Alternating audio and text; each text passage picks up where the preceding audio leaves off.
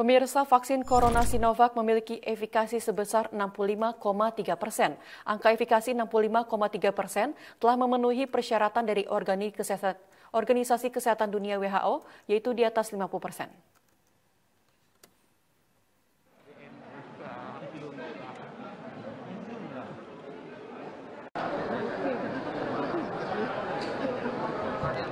Vaksin Corona Sinovac resmi mendapatkan izin penggunaan darurat dari Badan Pengawas Obat dan Makanan atau BPOM. Vaksin asal Tiongkok Sinovac lulus dengan hasil analisis interim uji klinis yang menunjukkan efikasi sebesar 65,3 persen. Angka efikasi 65,3 persen merupakan estimasi seberapa besar penurunan angka infeksi penyakit pada penerima vaksin jika dibandingkan dengan tidak divaksinasi. Dalam diskusi daring bertajuk Ketahanan Kesehatan untuk Ketahanan Nasional, Kepala BPOM Penny Lukito menjelaskan, angka efikasi berbeda dengan angka efektivitas. Efikasi diukur dalam uji klinis terkontrol, sementara efektivitas diukur setelah vaksin digunakan pada masyarakat. Keefektifan vaksin adalah kemampuan vaksin mencegah penyakit dengan kekebalan imun tubuh. Sementara dengan efikasi, suatu negara bisa menghitung berapa jumlah cakupan vaksinasi yang harus dilakukan.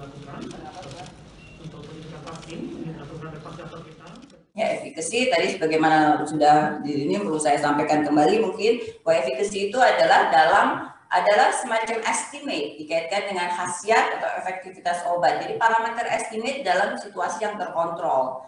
Jadi apabila um, efikasi bukan alat satu-satunya dalam memilih uh, vaksin yang akan diprocure misalnya ya.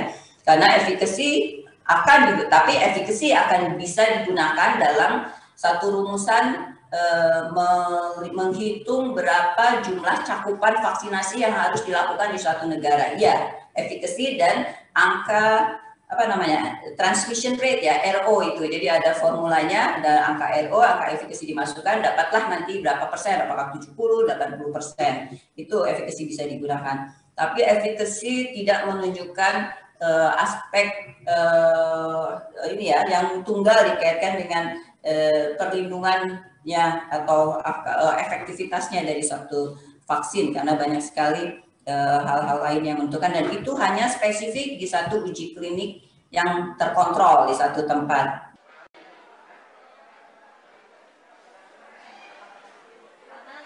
Angka efikasi sebesar 65,3 persen telah memenuhi standar persyaratan dari Organisasi Kesehatan Dunia atau WHO, yakni minimal 50 persen. Maka efikasi ini menunjukkan harapan bahwa vaksin Sinovac mampu menurunkan penularan COVID-19 hingga 65,3 persen.